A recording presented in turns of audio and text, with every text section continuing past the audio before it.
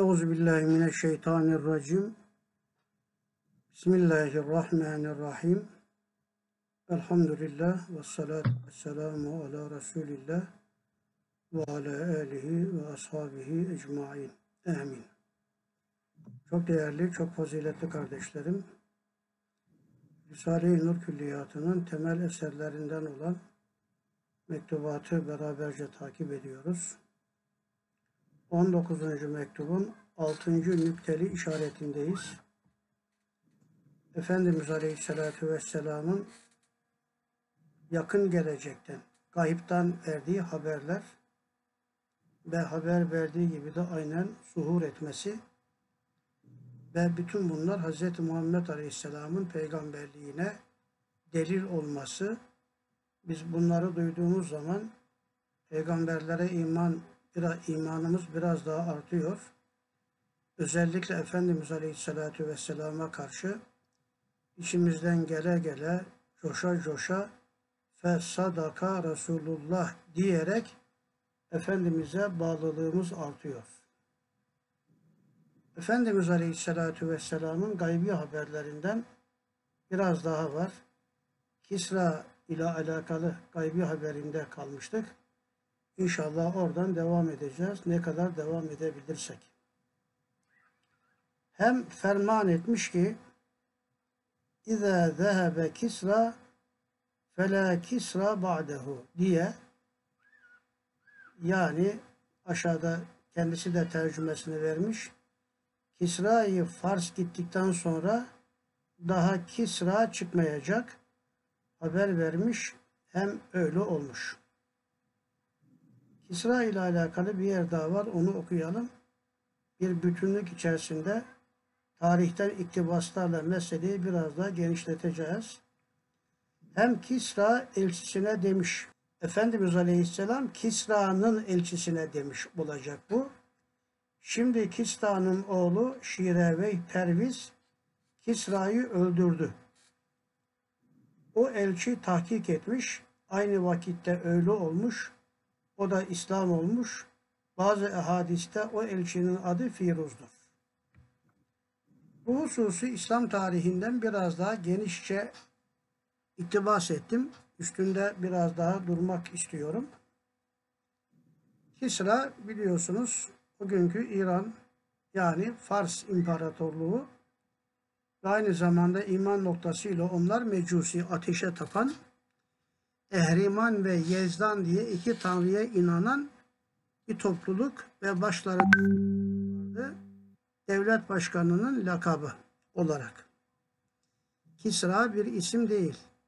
Han gibi, Hakan gibi, padişah gibi işte devlet başkanlarına verilen bir isim, ünvan ismi.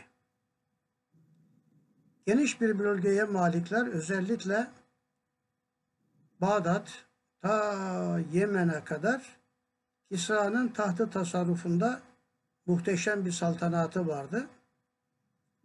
Ve Yemen'de Kisra'yı temsil eden vali mesabesinde temsil eden bir idareci var. Adı Bazan. Kisra duymuş ki Mekke'de, Hicaz'da bir peygamber zuhur etmiş veya ona göre peygamberlik iddia eden birisi kendi eski dinlerine muhalefet etmiş. Böyle bir din her zaman kendisi içinde tehlikeli olabilir. Hisleri içerisinde Kisra Yemen valisi Bazan'a bir mektup gönderiyor. Mektubunda diyor ki Mekke'de Kureyş'ten biri çıkmış. Kendisinin peygamber olduğunu söylüyormuş. Ona söyle, yani basit bir insana söylemesi gerekiyormuş gibi kendini o kadar gururlu görüyor ki bazana diyor ki sen ona söyle kendisi ya bu peygamberlik davasından vazgeçer ya da onu ve kavmini öldürerek adamları üzerine salarım de. Sen yanındaki güçlü kuvvetli adamlardan ikisini ona sal kavminin dinine muhalefet etmiş olan kişiyi kavminin dinine dönmesine emret. Dönmekten kaçınırsa kendisinin başını kesip bana gönder. Yemen valisi Bazan'a böyle bir mektup yazıyor Kisra. Kisra'nın Yemen valisi Bazan Kisra'nın mektubunu alır almaz yazıcı muhasip ve Farsça okur yazar vekil harcı olan Babe Veyhi bir de yanına Farslılardan Farsçayı da çok iyi bilen Hurre Hüsre adında bir adamı da katarak Efendimiz Aleyhisselatü Vesselam'a gönderiyor. Kisra'ya gitmesi için Efendimiz Aleyhisselam'ın yazdığı mektup, o yazıyı da ellerine veriyor. Vekil harcı olan Babe Veyhe, Peygamber Efendimiz Aleyhisselam için şu zatın memleketine git, haline, gidişatına bir bak, kendisiyle konuş, kendisini imtihan et. Yani Babe Veyh gelecek, o da Bazan'ın elçisi. Efendimiz'i bir imtihan edecek. Bakalım peygamber mi değil mi diye. Onun haberini bana getir, işin iç yüzünü anla, bana anlat dedi. Babe Bey, Hurre Hüsre ile Mekke'ye doğru yola çıktılar. Önce Taif'e uğradılar.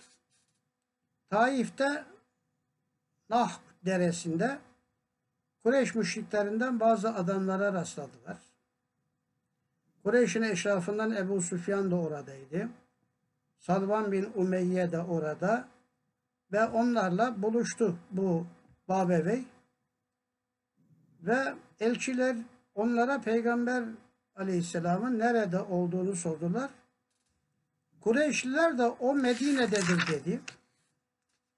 Kureyş müşrikleri Vali Bazan'ın mektubunda yazılı olan elçilerden sorup öğrenince müşrikler tabii çok sevindiler. Bizim düşmanımızı artık biz yenemiyoruz. Bari İran Sultanı Kisra yenecek diye sevininiz.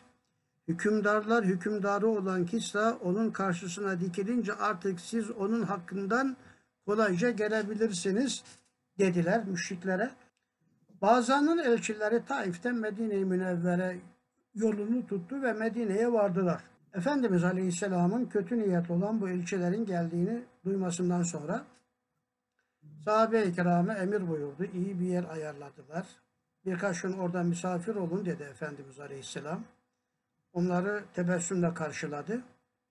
Ve birkaç gün sonra istirahat ettikten sonra siz neyse ki ne görüşecekseniz görüşürüz dediler. Babevi ile Hurre Hüsre Efendimiz Aleyhisselam'ın birkaç gün istirahattan sonra Efendimiz onları davet etti artık dinlenmişlerdir. Gelsinler diye Efendimizin yanına girdiler. Efendimiz Aleyhisselam onlara oturunuz buyurdu. Onlar da dizlerinin üzerine diş çökerek kemali terbiye ile edeple oturdular. Çünkü birkaç günden beri sahabe-i kiramın Efendimiz'e olan alakasını, Efendimiz'in ciddiyetini, öyle şaka bir insan olmadığını birkaç gün içerisinde fark ettiler. Ve Yemen valisi Bazan'ın bu elçileri sakallarının dibinden kazıtmışlar. Böyle iyice ayna gibi, şimdi bizimki gibi tıraş olduklarını ama bıyıklarını ise alabildiğine uzattıklarını gördü Efendimiz Aleyhisselam. Tipik bir İranlı veya eski bir Türk boylarından birileri gibi Efendimiz Aleyhisselam onları öyle görünce onların o halinden hoşlanmadı. Yazıklar olsun size dedi. Bu kılıya girmenizi size kim emretti?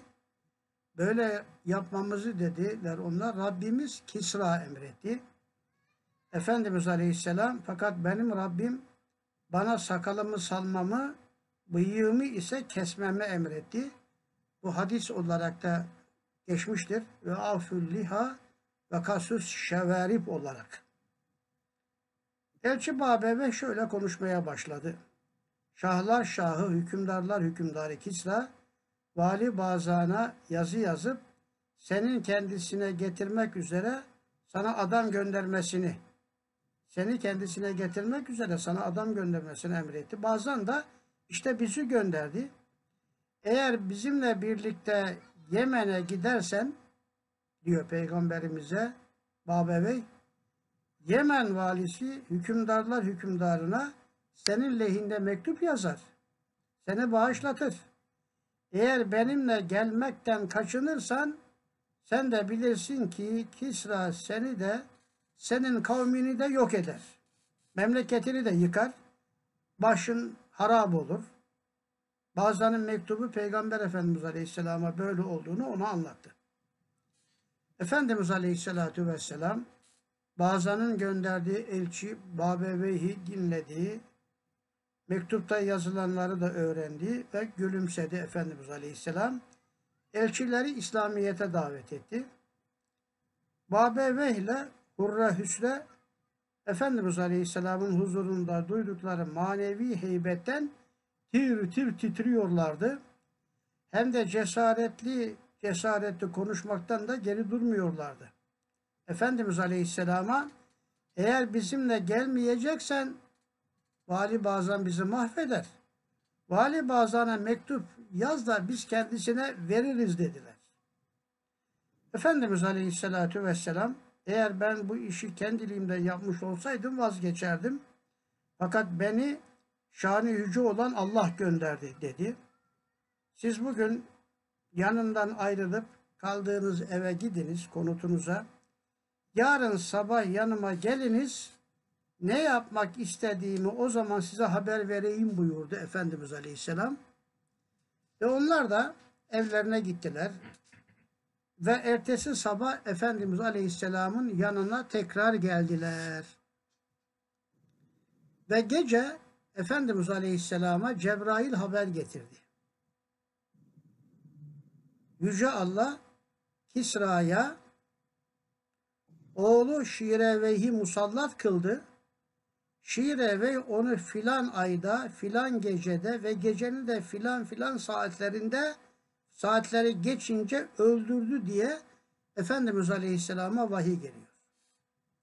Evet ertesi sabah elçiler o Babeve ile Hurre Hüsre tekrar Efendimiz Aleyhisselam'a gelince Efendimiz Aleyhisselatü Vesselam onlara diyor ki sahibinize yani bazana tebliğ ediniz ki benim Rabbim olan Allah onun Rabbi Kisra'yı bu gece geceden yedi saat geçince gecenin yedinci saatinde öldürtmüştür.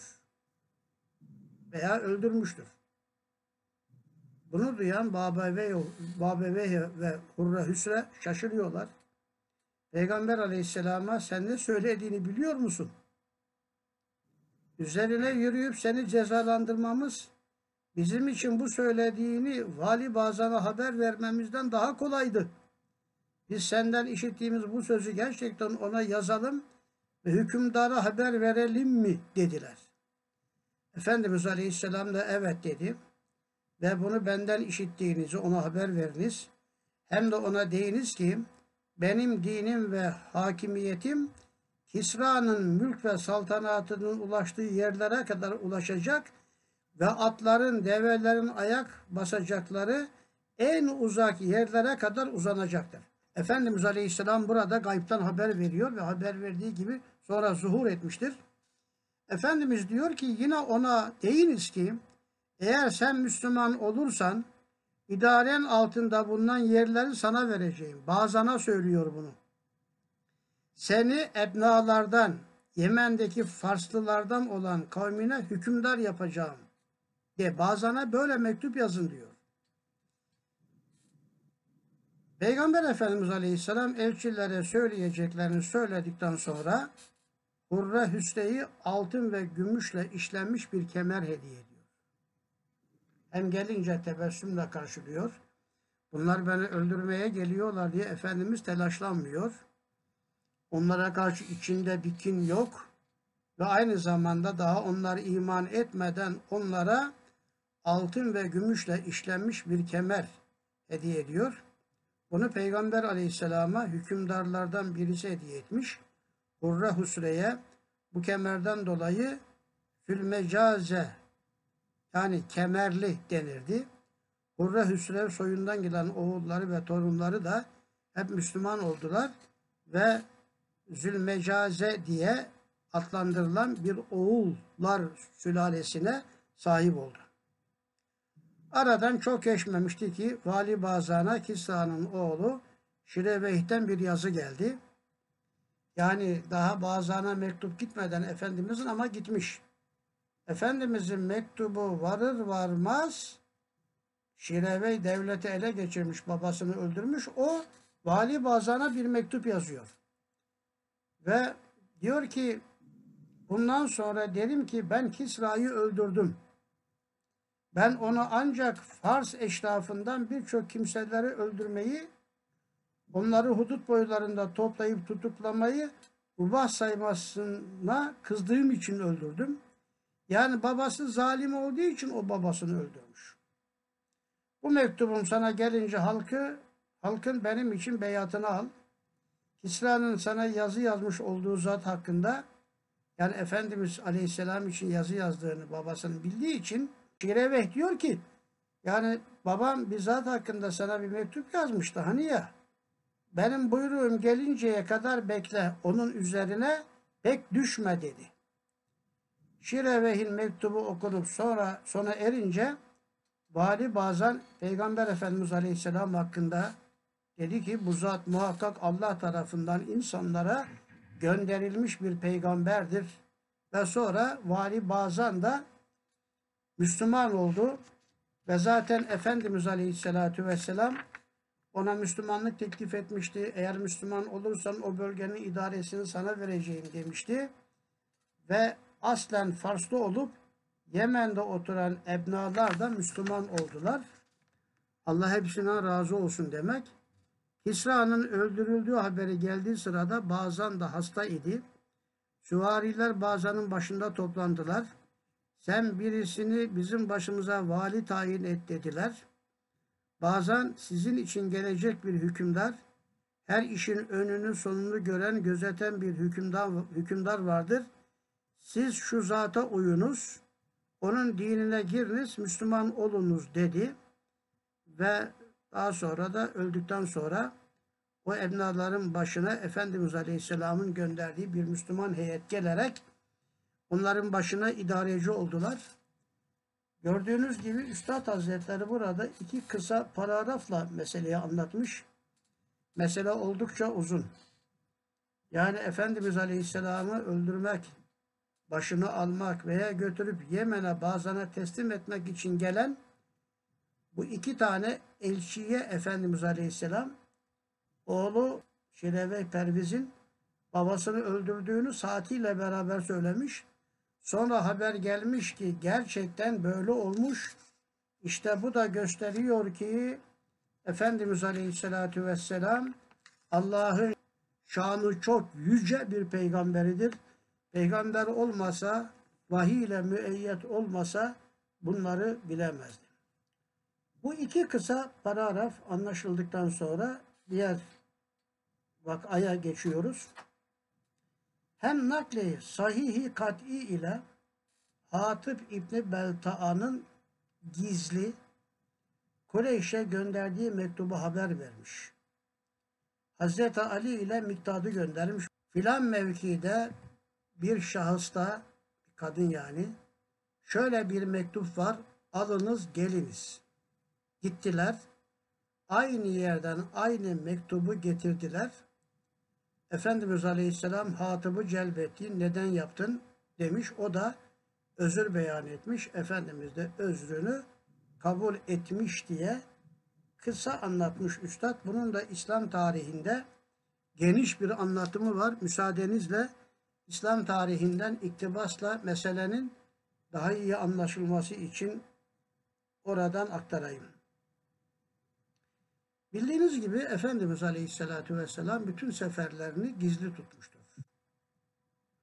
İstihbaratla karşı tarafa ve sonra o da tedbirlerini almasın diye. Bu Osmanlı padişahlarında da bir sır olarak devam etmiştir. Yavuz doğuya doğru gidiyor gibi görünüp ama başka bir cenaha doğru hareket etmiş Başımdaki saçım bile bu sırrımı bilse vallahi koparır atardım demiş. Efendimiz Aleyhisselatü Vesselam Mekkelilerin üstüne yürüyecek. Mekke fethi günü hem veda haccı. Efendimiz Aleyhisselam bunu sır olarak sakladı. Fakat sahabe-i kiramdan Hatip İbni Belta Efendimizin Mekkeliler üzerine yürüyeceğini duydu. Tam o sırada ashabtan Hatip İbni Belta Mekkeli müşriklere bir yazı yazarak Peygamber Aleyhisselam'ın bu husustaki kararını bildirmek istedi. Hatip yazısını Salvan bin Ümeyye, Süheyl bin Amr ve İkrime bin Ebu Cehle bilmek üzere yazdı. Yani Salvan'a verin bu mektubu veya onu bulamazsan Süheyl bin Amr'a verin veya Ebu Cehil'in oğlu İkrime'ye verin bu mektubu diye mektup yazdı. Mektubunda şunları yazıyor. Resulullah Aleyhisselam gazaya çıkacağını halka bildirdi. Kendisinin sizden başkasına gitmek istemeyeceğini sanmıyorum. Size gönderdiğim yazımla yanınızda benim bir iyilik ve minnet elimin bulunmasını arzu ederim. Yani hoş görünmek istiyor Mekkelilere. Neden onu da anlatacak. Başka bir rivayetlere göre Hatip mektubunda şöyle dedi. Efendimiz Aleyhisselam geceler gibi karaltılı, seller gibi akıp askerleriyle size doğru yönelmiş geliyor. Allah'a yemin ederim ki o size yalnız başına bile gelecek olsa Allah muhakkak yardım edip onu size galip kılacaktır. Çünkü Allah ona yaptığı vaadini yerine getiricidir. Hiç şüphesiz Allah onun dostu ve yardımcısıdır. Böyle bir mektup yazıyor. Ve mektup devam ediyor. Muhammed Peygamber aleyhisselam amma size karşı amma sizden başkasına karşı savaşmaya hazırlanmış bulunuyor. Hazırlıklı ve uyanık olunuz diye Mekkelileri uyarıyor. Hatip bin Ebi Belta'dan Resulullah Aleyhisselam sizin üzerinize yürümek istiyor, tedbirinizi alınız diye mektupta böyle dediği de rivayet ediliyor. Başka bir ifade Muhammed Aleyhisselam kesin olarak sizin üzerinize yürümek üzeredir. Bundan sonra derim ki Muhammed Aleyhisselam kesin olarak sizin üzerinize yürümek istiyor. Tedbirinizi alınız, hazırlanınız gibi gördüğünüz farklı şekillerde atıp bin Ebi Belta'a Kureyş müşriklerine yazdığı mektubunu bir kadına verdi. Rivayete göre kadın müzeynelerdendi. Müzeynelerin de Arç halkından Kenut adında bir kadına vermiş. Kendisi Ebu Amir bin Sayfi bin Hişam, Ebu Leheb'in azatlı cariyesi olan Sariye diye de anılırmış bu Kenut ismindeki kadın. Sare de denilir.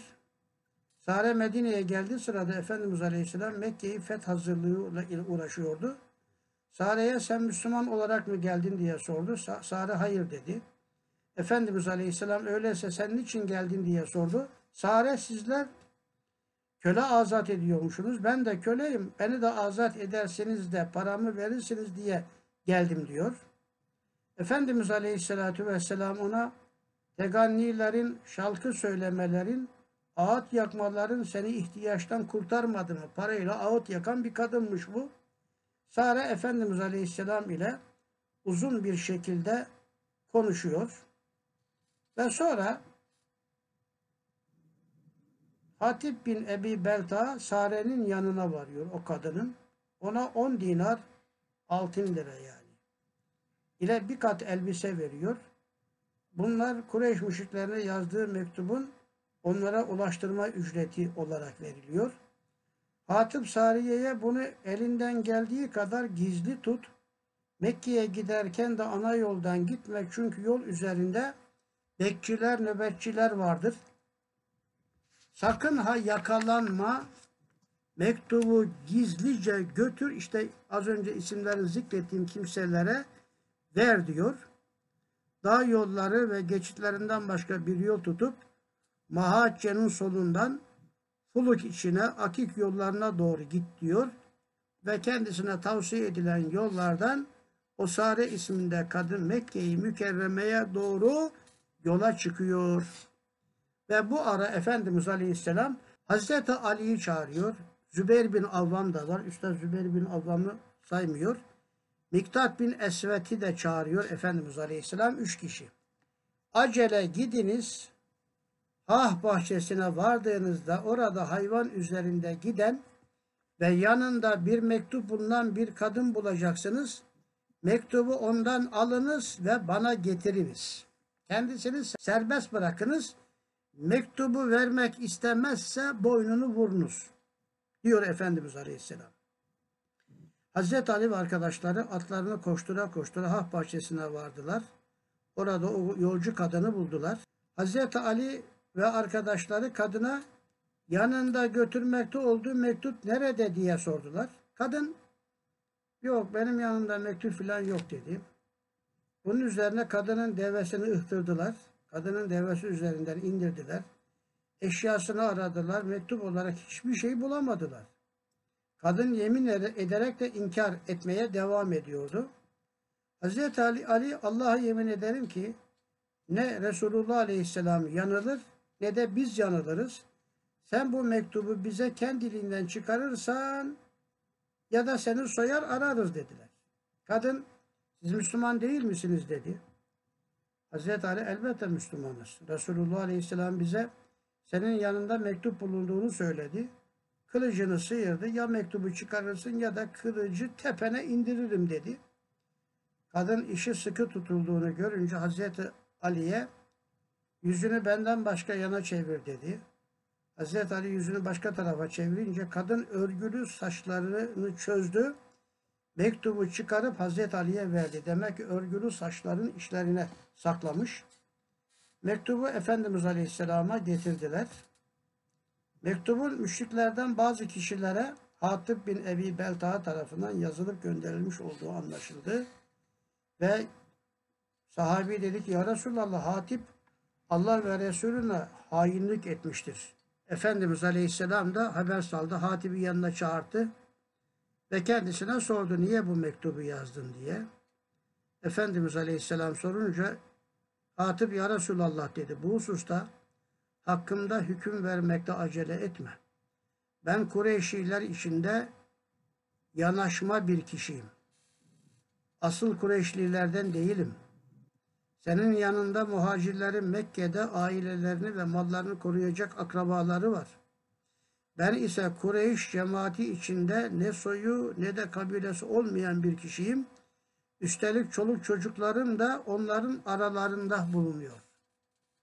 Bugünkü şartlara ne kadar da benziyor. Siz de herhalde fark ediyorsunuz. Çünkü aynen bugün Türkiye'de akrabaları olan arkadaşlarımız da dünyanın muhtelif yerlerinde konuşamıyorlar. İşte aynen yani biz Hatip bin Belta'nın durumunu çok net anlayabiliyoruz. Vaka İslam tarihinde çok uzun bir şekilde ele alınmış. Üstad Hazretleri diyor ki burada özrünü Efendimiz Aleyhisselam kabul etmiş. İslam tarihinde bu mevzuda çok farklı mütalalar var. Efendimiz Aleyhisselam bir rivayette Hatip'in özrünü kabul etmiş ve affetmiş. Ama Hazreti Ömer demiş ki bu adam ya Resulallah bana müsaade et ben bu adamı öldüreyim. Çünkü cemaatin, ümmetin sırlarını bildirdi başka yere demiş. Ve Efendimiz Aleyhisselatü Vesselam bu mevzuda çok yumuşak, haklı görmüş onu. Yani orada çocukları var vesaire diye. Bunu da anlatabildimse işte bu mesele de bu şekilde sona eriyor. Bir başka vakaya geldim. Hem nakli sahih kat'i ile Utbe İbni Ebi Leheb hakkında ferman etmiş ki yekülühü kelbullah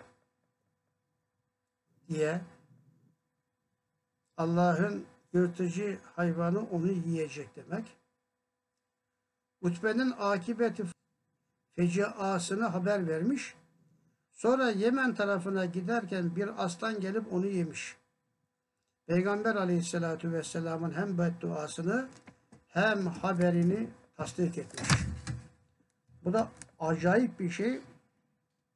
Yani Efendimiz Aleyhisselam'a peygamberlik gelmeden önce Efendimiz Aleyhisselam'ın kızı Ümmü Gülsüm Ebu Leheb'in oğlu bu önce Uteybe ile yani Ümmü Gülsüm Ebu Cehil'in oğlu Uteybe ile Rukiye de veya Rukeyye de Ebu Leheb'in diğer oğlu Utbe ile nişanlanmış.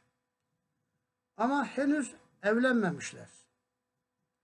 Tebbet suresi nazil olunca Ebu Leheb'in karısı Ümmü Cemil oğullarına Rukeyye ve Ümmü Gülsüm dinden çıkmışlardır yani kendi dinlerinden. Onları boşayın, ayrılın diyor. Ebu Leheb de oğullarının her ikisinde Muhammed'in kızını boşamazsan başım başıma haram olsun diyerek yemin ediyor. Ve sonra Efendimiz Aleyhisselatü Vesselam'ın kızlarına evlenmiyor onlar. Aslında boşuyorlar. Bu münasebetle Efendimiz Aleyhisselatü Vesselam onlara beddua ediyor. Peygamber Efendimiz Aleyhisselam Uteybe'nin yapmış olduğu çılgınlığa karşı dilerim ki Allah köpeklerinden bir köpeği senin üzerine salar. Allah köpeklerinden bir köpeği senin üzerine salsın. Allah'ım köpeklerinden bir köpeği onun üzerine sal diyerek aleyhinde beddua ediyor. Buna binaen Ebu Leheb Muhammed'in oğlum aleyhindeki duasından korkuyorum derdi sık sık. Uteybe Kureyşlerden bir ticaret kafilesiyle yola çıkıyor bir gün. Zerka diye anılan bir yerde geceleyin konaklıyor. O gece bir aslan çevrelerinde dolaşmaya başlayınca Uteybe vay anam diyor. Vay anam. Vallahi Muhammed'in dediği gibi bu beni yiyecek. Benim katilim İbni Ebi Kepşe'dir. Efendimizin lakabıydı Mekke müşrikleri tarafından söylenilen İbni Ebi Kepşe'dir. Kendisi Mekke'de ben Şam'da olsam da bu hayvan beni yiyecek dedi. Aslan o gece çevrelerinde dolaşırken sonra dönüp gitti. Arkadaşları Uteybe'yi ortalarına alıp uyudular. Bizim ortamızda olunca önce başkalarını yer filan diye. Arslan gece geri geldi. Aralarından geçti. O kadar yatan o heyetin içerisinden yavaş yavaş ve koklaya koklaya Uteybe'nin yanına kadar vardı. Başını yakalayıp öyle bir ısırışla ısırdı ki işini bitiriverdi. Uteybe can çekişirken ben size Muhammed insanların en doğru sözlüsüdür demedim mi diyerek haykırarak, bağırarak öldü. Muhammed'in en doğru sözlü olduğunu biliyor ama kendisi de inanmıyor. Kardeşi de, babası da ve Ümmü Cemil olan oduncu anası Hammaletel Hatab olan anası da tabi inanmamış oluyor. Oğlunun aslan tarafından öldürüldüğünü işitince Ebu Leheb de ben size Muhammed'in oğlum hakkındaki duasından korkum, korkuyorum dememiş miydim diye o da Vaveylayı koparıyor. O da acayip bir şeydir yani. Vaka içerisinde kısaca bunu da aktarmış oldum. Hem nakli sahih ile Fethi Mekke vaktinde Hz. Bilal Habeşi Kabe'nin damına çıkıp ezan okumuş. Ve Esai Kureyş'ten Ebu Süfyan Attab İbni Esid Haris İbni Hişam oturup konuştular. Attab dedi, pederim Esit bahtiyardı ki bugünü görmedi. Haris dedi ki Muhammed bu siyah kargadan başka adam bulamadı mı ki müezzin yapsın. Hazreti Bilal Habeşi'yi tezif etti. Ebu Sufyan dedi ben korkarım. Bir şey demeyeceğim. Kimse olmasa da şu bethanın taşları ona haber verecek. O bilecek. Hakikaten bir parça sonra Resul-i Ekrem Aleyhisselam onlara rast geldi. Harfiyen konuştuklarını söyledi. O vakit Attab ile Haris şehadet getirdiler ve Müslüman oldular. Ne kadar acayip bir şey değil mi yani? Efendimiz Aleyhisselatü Vesselam öğle vakti girince Mekke fethinde Kabe'nin üzerine çıkıp ezan okumasını Bilal Habeşi'ye emretti. Bilal-i Habeşi ezan okumaya başladı. Kureyş müşriklerinin ileri gelenlerinden birçokları öldürülmelerinden korkarak dağların başlarına kaçmışlar ve gizlenmişlerdi. Onlardan eman dileyen bazıları da eman verilmiş bulunuyordu. Ezan okunduğu sırada Ebu Süfyan bin Harp, Attab bin Esid, Halis bin Hişam ve daha başkaları Kabe'nin yanında oturuyordu. Bunlar eman dilemişler. Bilal Habeşi sesini olanca gücüyle yükselterek ezan okumaya başladı. Kureyşlerden bazıları ey Allah'ın kulları Kabe'nin üzerinde ezan okumak bu kara köleye mi düştü dediler. Bazısı da Allah'ın ona gazap edeceğini ve bu işi değiştireceğini söylediler. Eşhedü enne Muhammeden Resulullah şehadeti üzerine Ebu Cehil'in kızı Cüveyriye hayatıma yemin ederim ki senin adın şanın yükseldi. Namaz kılarız ama vallahi sevdiklerimizi öldürenleri hiçbir zaman sevmeyeceğiz. Muhammed'e gelen peygamberlik babamı da babama da gelmişti. Fakat o bunu reddetmiş, kavmine aykırı davranmak istememişti dedi. Halid bin Esid kim bu seslenen diye sordu. Bilal bin Rebah dediler. Halid bin Esid Ebu Bekir'in Habeşli kölesi mi diye sordu. Evet dediler. Ve böylece konuşmalar uzun süre gidiyor. Babası Esid bir gün önce, yani burada diyor ki babam bu günü görmedi. Yani babası Esid bir gün önce vefat, orada öldürülmüş, Mekke fethinde öldürülmüş olanlardandır. Allah'a şükür olsun ki babam Hüseyin Esid öldü de bugünü görmedi. Bir gün önce ölmüştü diyor. Mesela uzun süre devam ediyor. Ve Ebu Sufyan bin Harp ise bir şey söylemeyeceğim. Eğer bir şey söyleyecek olursam şu kumlar söylediğimi Muhammed'e haber verirler dedi. Cebrail aleyhisselam da onların konuştuklarını Efendimiz aleyhisselama haber verdi. Ve Ebu Süfyan dedi ya Resulallah valla ben bir şey söylemedim. Evet dedi Efendimiz sen bir şey söylemekten korktun ve böyle dedin dedi. Ve bu mesele bu şekilde İslam tarihine Efendimizin mucizeleri olarak geçti ve sonra o diğerleri de mücahitlerin fetih gecesini zikir ve ibadetle geçirmeleri olarak da sahabe-i kiram zikrederken bunlar da sahabe-i kiramın içine girerek başka kendilerini sevenlerle beraber iman ettikleri söyleniyor. Bunların bir değerlendirme cümlesi olarak Üstad diyor ki işte ey biçare mülhit. Mülhit dinsizliği dava edilmiş kimselere denir. Yani kafir başka ama da bir de mülhit var. Ehli ilhat. Üstad da bu tabiri çok kullanıyor. İnkarcı boş boğaz demek. Dinsizliği dava edilmiş, idealizm edinmiş kafire mülhit denir. İşte ey biçare mülhit. Peygamber aleyhisselamı tanımayan kalpsiz adam bak Kureyş'in iki muannit büyükleri bir tek ihbar gaybi ile imana geldiler. Ne kadar kalbin bozulmuş ki manevi tevatürle bu ihbar gaybi gibi binler mucizatı işitiyorsun. Yine kanaatı tamamen gelmiyor. Her ne ise sadede dönüyoruz. Sadede geldik. Şimdi Bedir Harbi'nde meydana gelen bir vaka daha. Bildiğiniz gibi Bedir Harbi'nde esirler edildi ve Hazreti Abbas da amcası orada esir edildi. Burada ince bir şey söylemek istiyorum. Efendimiz Aleyhisselam'ın amcası Abbas aslında Mekke döneminde Müslüman oldu. İlk Müslümanlardandır.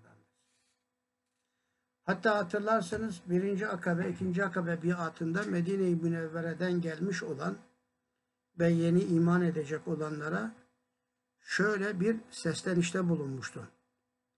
Bak Muhammed'e iman edeceksiniz, etmek istiyorsunuz ama dedi, bu zata iman etmek demek dedi, Mekke'yi karşınıza almak demektir. Sasani'yi, Yahudileri ve İran'ı, Mecusileri yani karşınıza almak demektir. Bunları bilin de inanacaksanız sağlam iman edin diyordu. Hz. Abbas Efendimiz Aleyhisselatü Vesselam'ın Mekke-i Mükerreme'de istihbaratçısı idi. Ne oluyor, ne bitiyor, onlar ne düşünüyorlar? Efendimiz Aleyhisselam'a gizli olarak bildiriyordu ve sıradan bir insan gibi orada yaşıyordu. En nihayet o da Bedir'e girdi. Efendimiz Aleyhisselam ile harp etmek için değil. Belki artık Mekke'de çilesi doldu. Ondan sonra hür olursa Medine'de iman ederek devam eder diye düşünüyordu. Onun için Bedir gazvesine katıldı. Hem nakli sahih ile gazve-i Bedir'de Hazreti Abbas sahabelerin eline esir düştüğü vakitte fideyi necat istemiş, istenilmiş. Şu kadar fide verenler serbest. O demiş ki param yok. Hazreti Resul Ekrem Aleyhisselam ferman etmiş ki bak aya bak Zevcen Ümmü Fadl'ın yanında bu kadar parayı filan yere bırakmışsın. Hazreti Abbas bunu ancak peygamber bilebilir. Hazreti Abbas tasdik edip ikimizden başka kimsenin bilmediği bir sır idi. O vakit kemali imanı kazanıp İslam olmuş. Demek o zamana kadar imanı varmış ama fakat kemali imanı kazanıp diye burada meseleyi ifade ediyor. İslam tarihine baktım biraz daha genişçe İbn Sad'ın tabakatında bu mesele aynen böyle anlatılıyor fakat daha uzunca anlatılıyor.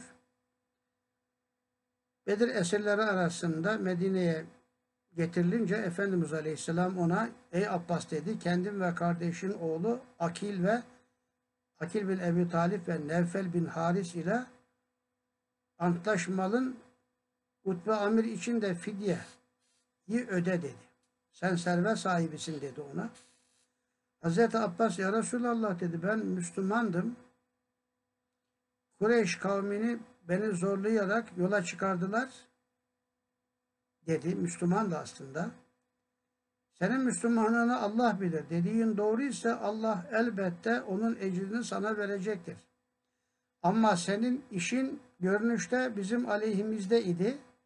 Sen hele kurtarmalık akçeni ödemeye bak dedi. Ve Efendimiz Aleyhisselam onun yanında bulunan 20 okiye, 800 dirhem yani altını da harp ganimeti olarak el koydu. Amcası yani. Hazreti Abbas ya Resulallah dedi. Bari bunu kurtarmalık akçesi yerine sahip Efendimiz olmaz dedi. Bu ganimettir. Sen şimdi kurtarmalık akçesini ayrıca vereceksin. E dedi benim param yok, servetim yok dedi. Efendimiz Aleyhisselam ona dedi ki ey Abbas Zevcen Ümmü Fadla verdiğin filan yere Mekke'de gömmüş olduğun malların var. Altınların var. Onlar nereye gitti diye sordu.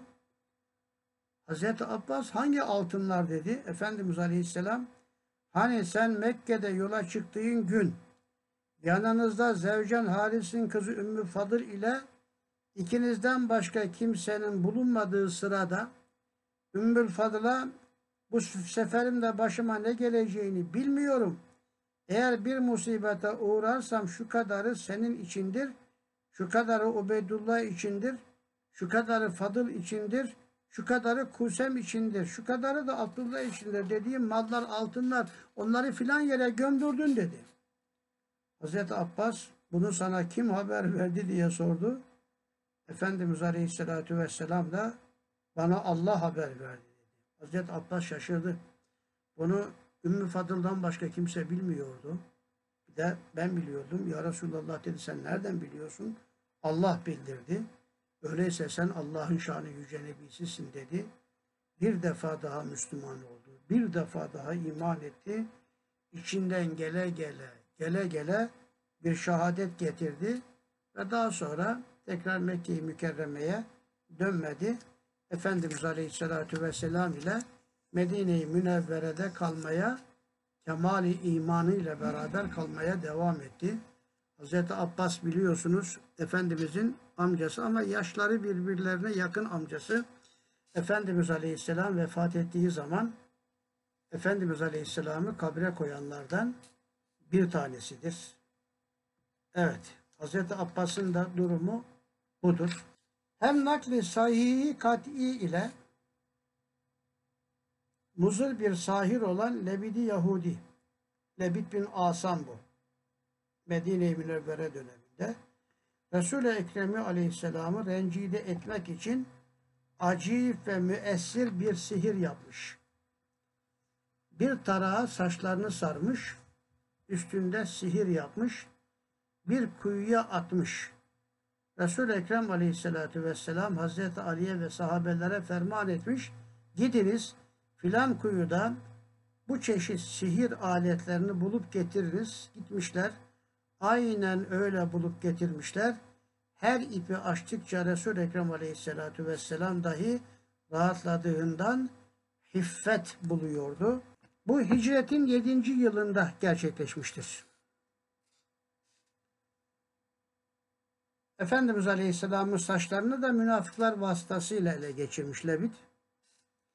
Hazreti Ayşe der ki nihayet Resulullah Aleyhisselam günün birinde tekrar tekrar dua etti. Sonra da bana ey Ayşe yapmış olduğum duamı Allah'ın kabul buyurduğunu biliyor musun?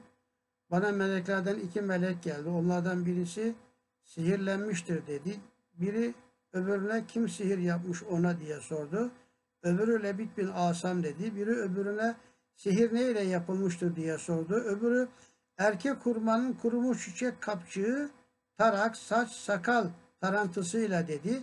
Biri öbürüne nerededir diye sordu. Öbürü Zervan kuyusunda basamak taşının altındadır dedi. Biri öbürüne onun şifa bulunması ne iledir diye sordu. Öbürü kuyu suyunun tamamıyla çekilip içindeki basamak taşının kaldırılması ve altındaki kurumuş erkek hurma çiçeği kapçığının çıkarılması suretiyle dedi. Melekler sonra Efendimizin yanından havalanıp gittiler. Ve Efendimiz Aleyhisselam işte Hazreti Ali'yi üstadın burada dediği gibi bazı sahabileri bu Kuba'da değerli arkadaşlar bu Medine kuyuları üstünde çok ciddi bir çalışma yapmanızı tavsiye ediyorum. Medine'de senelerce kaldı. Orada Mihrali Hoca vardı Medine'de. Oraya gidenler onu tanırlar. O da gelenlere filan satıyordu. Bir zaman kaynak yayınlarından da çıktı. Kutlu Belde Medine diye bir kitabı vardı Mihrali Hoca'nın. Kürt asıllı yani Türk vatandaşı ama uzun süre Medine-i Münevvere'de kaldı. O kitabı öyle resimlerle Medine diye bastırmak istedi. Medine'de bir sürü eski yeni resimler çekmiş bulmuş. Tabi arkadaşlar o kitabı basmadılar. Sırf resimde kitap olmaz. Biraz bir şeyler yazmak lazım. Çalışma yaptım. Yüzde 50-60 o kitap fakirindir. Orada Medine kuyularıyla alakalı eski fotoğrafları bulmuş o. Bazı yenilerin fotoğraflarını çekmiş. Medine kuyularıyla alakalı çok ciddi kitabi yani kitaplara bakarak fakir de bir çalışma yapmıştı. Tabi o dönemde kuyular çok önemli. Su yok tabi elektrikte olmadığı için su yok. Kuyulardan su çıkartıyorlar. Kuba'da Kuba'nın camisinin kıble tarafının batısında sağ tarafına doğru orada böyle bir park var. Parkın içinde bir kuyu vardı. Şimdi yol genişlemiş artık o kuyu asfaltın içinde kalmış. İşte o kuyunun içinde atılmış bu tarak, saç vesaire Lebit bin Asam'ın yaptığı büyüler Efendimiz Aleyhisselam Hazreti Ali'yi ve sair sahabe-i kiramdan bazılarını gönderdi. Onlar da kuyunun suyunu iyice boşalttılar. Ve sonra o denen kayanın alttaki kayanın altından buldular ve sonra açtılar. Efendimiz Aleyhisselam'a da Felak ve Nas sureleri bu münasebetle nazil olduğu söylenir. Ve Efendimiz Aleyhisselatü Vesselam da e, okudu ve böylece büyüden kurtuldu. Bu anlattıklarım sadece son kısmı bir görüştür. Efendimiz'e sihir tutar mı? Büyü olur mu Efendimiz Aleyhisselam? Bununla alakalı Felak ve Nas surelerinin nuzulü sebebiyle tefsirlerden genişçe bakabilirsiniz. Sihir var demek sihirdir. Ya sen de sihir var dersen adama sihir olur yani. Melekler de öyle deyince sanki Efendimiz de sihirlenmiş gibi oldu ama özünde Efendimiz Aleyhisselam'a sihir tutmaz. Neden? Çünkü Vallahu ya'simuke minen nas ayetiyle Allah'ın özel koruması altındadır. Efendimiz Aleyhisselatü Vesselam bu münasebetle fakat fakirin yine YouTube'da Felak ve Nas sureleri tefsirleri var. Oraya da bakabilirsiniz. Orada bu hususa genişçe kaynaklara dayanarak tefsir etmiştim. Yani kendim sohbet yaptığım için kendi sohbetimi kaynak olarak göstermekte de bir mahsur görmüyorum. Hem nakli sahih ile Ebu Hureyre ve Huzeyfe gibi mühim zatlar bulunduğu bir heyette Resul-i Ekrem Aleyhisselatü Vesselam ferman etmiş. Yani böyle bir cemaat var. Epey bir grup sahabe var. İçlerinde Hazreti Ebu Hureyre var. Hazreti Huzeyfe var. Efendimiz Aleyhisselam orada şöyle buyurmuş. Dırsu ehadiküm finnâri azamu min uhidin. Sizden birinizin dişi cehennemde Uhud dağından büyük olacaktır. Bu hadis-i şerif kafirler için, ehli cehennem için başka bir rivayette başka şekilde söylenmiş olan bir hadistir. Efendimiz Aleyhisselam buyuruyor ki cehennemde bir insanın azı dişi Uhud dağından daha büyük olacak.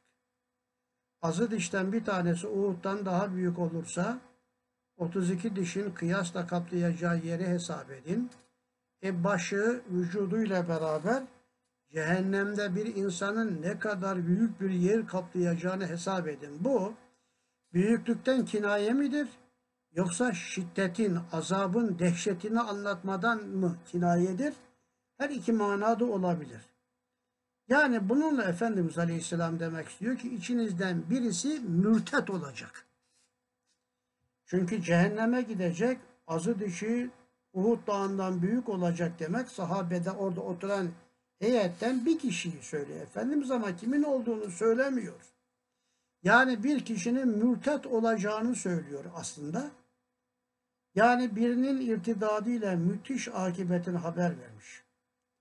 Ebu Hureyre dedi o heyette heyetten ben bir adamla ikimiz kaldık. Yani herkes öldü, öldü, öldü, öldü. Ben ve bir adam kaldık diyor Ebu Hureyre. Kendisi hakkında korkuyor. Korkmalıyız. Acaba ben miyim o mürtet olan?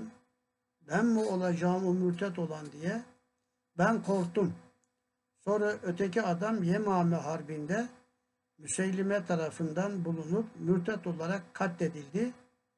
İhbar-ı Nebevi'nin Müseylime tarafında bulunup yani o Müseyleme tarafına Müseylemetül Kezzab tarafına geçmiş.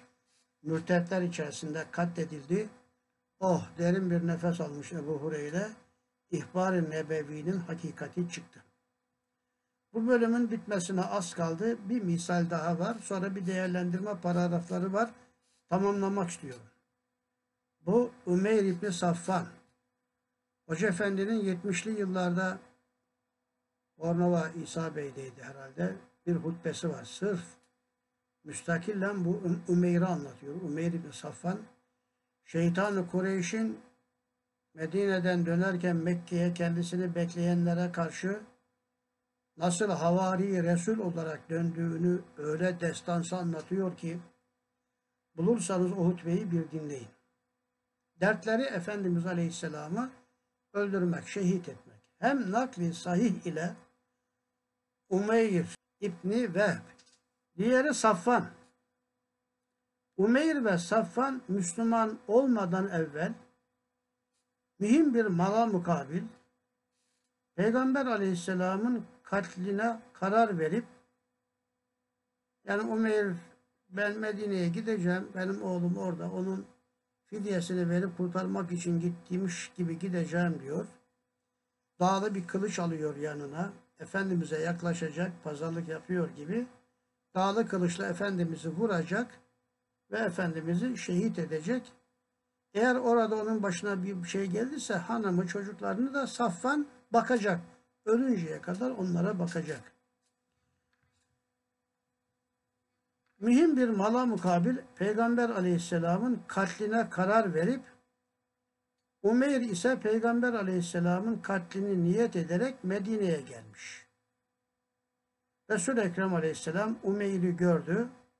Yanına çağırdı. Dedi niye geldin dedi. Ben işte çocuğumun fidyesini vereceğim, onu kurtarmak için yok. yok. Efendimiz doğru söyledi. Sen niye geldin? Hala Ömer yalan söylemeye devam ediyor. Efendimiz buyurdu ki sen Safvan ile beraber Kabe'nin kenarında şu yerde konuştunuz. Sen beni öldürmek için geleceksin. İşte çocuğunun fidye parasını vereceksin. O da senin malına yoksa da senin çocuklarına eğer bu- burada başına bir şey gelirse ömrünün sonuna kadar çocuklarına oradaki çocuklarına hanımına bakacak. Böyle anlaştığınızda geldiniz değil mi dedi.